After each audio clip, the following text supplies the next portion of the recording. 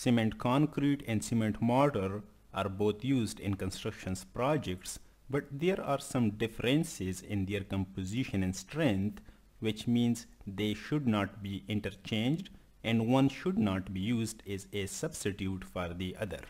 Hey guys, I'm Suliman Khan and in this video, I'll make you understand the difference between cement mortar and cement concrete.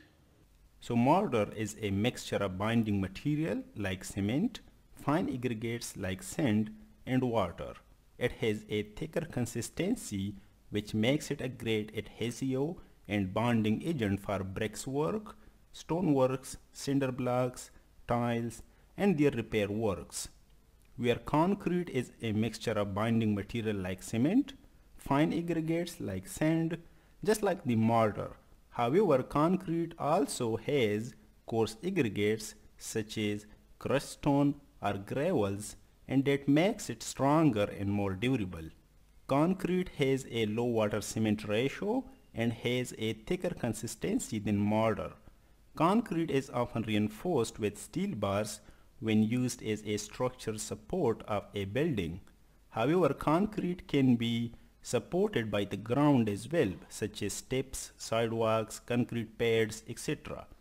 Concrete is known as ideal for sitting posts such as fence post, mailbox post, deck post, lamp post and swing sets you can say. Concrete can also be used in streets, roads and retaining walls. Basically concrete is stronger in compression and if it is reinforced with steel bars then it can also be used for structures projects such as beams, columns, slab pavements, highways pavement, bridges and canals as well.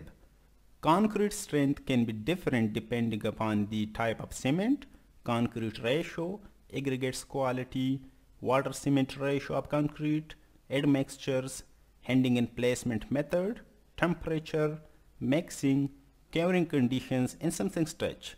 The strength of normal concrete can be from 2000 psi to 4000 psi which can reach to 10,000 psi in case of special concrete after 28 days of placement. Where strength of ordinary Portland cement mortar can be up to 3000 psi after 28 days of placement. And that's all I got. Thank you guys for watching.